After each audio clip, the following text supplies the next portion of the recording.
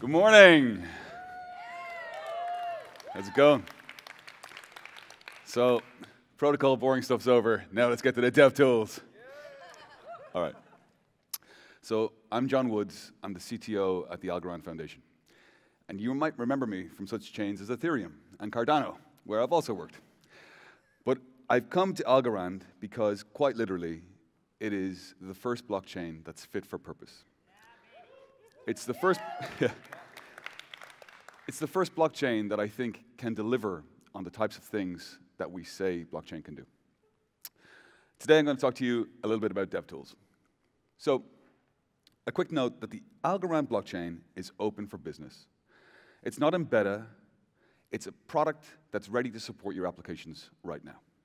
So you can bring enterprise-grade applications to the Algorand mainnet today, and it is ready to support those applications with zero downtime and with a user experience that's going to del delight your users. So this is great, but we also need to make sure that we have developer tools that allow folks to realize their vision. We need a developer experience that are going to be developer tools that you're going to want to use. People know that I'm a big fan of Apple products and Apple developer experiences. And when I open up Xcode and I'm using it to build iPhone apps, I get a great experience. Even when I'm debugging, I can blow up the user interface in 3D and I can, it visualizes everything for me. And so it's fun to use. And that's exactly where we need to take the developer experience for Algorand. So, how do we get there? The answer is AlgoKit. So AlgoKit is a soup to nuts complete toolkit that you can use to build, test, and deploy applications for Algorand.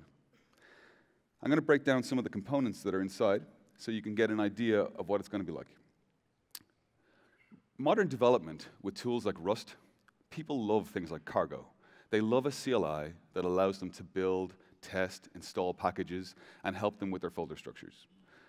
Tr Ethereum has this with Truffle, and so we realized that it was very important to have an intuitive command line interface that would allow people to build, test, and deploy right from the CLI. But we're not stopping there. This CLI, the AlgoKit command line interface, will also provide you safe templating. So when you're initializing your project, you can specify what type of project you're using. And this is similar to, or what type of project you're building, rather. And this is similar to the types of things you will have seen in more mainstream IDEs like Android Studio or Xcode. These templates will be an audited, safe starting point. So if you're trying to spin up your latest DAO, you'll have a template to start off. If you're trying to build a safe NFT, you'll have a template to start off. We're also going to have a coherent testing suite. This is going to allow you to unit test right within your favorite uh, uh, code editor. In this case, we're going to have VS Code integration, and you're going to be able to go right through with syntax highlighting and test in a very simple way. So you'll write your unit tests in a Python syntax, and you'll be able to test your product before it goes to mainnet. And finally, one other thing I want to touch on.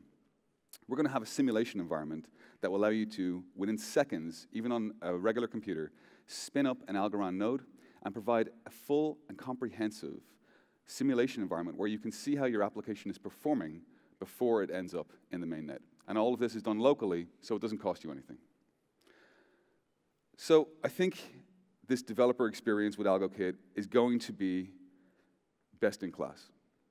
We're going to have a developer preview available hopefully in January, and the first release will be in Q1 of 2023, hopefully in February.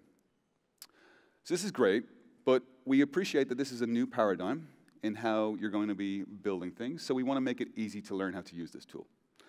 So we're going to do learning the fun way. We're going to gamify the education process.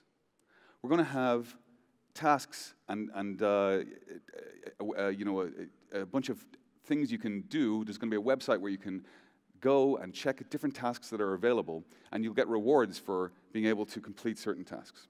We're going to have a process where we can take you from protocol zero to a protocol hero. So we're going to demystify and disambiguate the underlying protocol for you. We're going to explain PyTeal in simple language and give you instructions on how to do things in a best-in-class way. And then finally, we're going to have bite-sized content and more modular style content with competency-led training. So at the end of these programs, you'll come out with actual skills. And so you'll be able to directly work on certain genres of application, and you'll be confident that you know how to do things the right way. So that's a look at AlgoKit, and it's a look at where we're thinking of taking the developer experience next year. Um, if there's any questions, I'll take some from the audience quickly. Uh, if not, it's been nice to speak with you.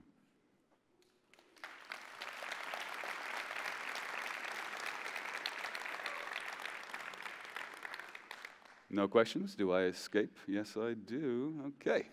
Thank you very much. Matt?